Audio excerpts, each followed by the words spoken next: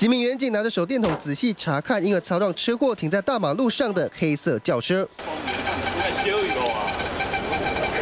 两辆相撞的轿车停在马路上，其中一台却冒出阵阵白烟，甚至发出声响。现场陷入紧张状态，就怕车子爆炸起火。我得卖无，一直走，然后现在计程车无，也算回转，哪料心动了可以。先撞下去之后，对不对？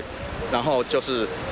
后后面我们就是先帮忙处理这边的摩托车的伤患，就是膝盖受伤，还有这里怪怪的。原来这里连环车祸是一对母女骑着机车要闪避自行车而发生擦撞车祸，没想到警方到场处理没多久，辆黑色轿车为要闪避车祸现场逆向行驶对向车道时，又不慎撞上迎面而来的另一辆黑色小客车后随即翻覆，驾驶这样卡在车子下面，当时在场的警民一起合力把车子翻正，将双方驾驶送医救治。冲过来的吧？